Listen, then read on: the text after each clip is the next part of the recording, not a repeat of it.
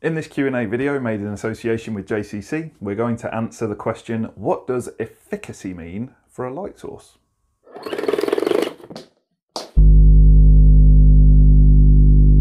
Now the first thing people normally say to me when I'm discussing the concept of efficacy is, don't you mean efficiency? And it does definitely relate to efficiency, but that term efficiency relates to the same unit. So like when you're comparing the power going into a machine compared to the power coming out of it. However, efficacy is a specific metric relating to lighting and it compares two different units to each other.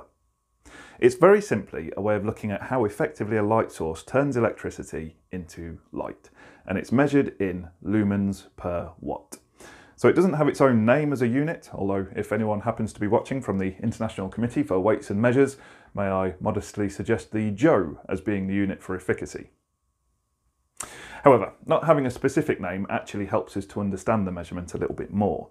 As you can see, we can write lumens per watt like this, LM slash W, which actually shows us how to calculate the value. Take the light output from the source in lumens, divide it by the amount of power the fitting uses to achieve this, and there it is. You've got the value in lumens per watt.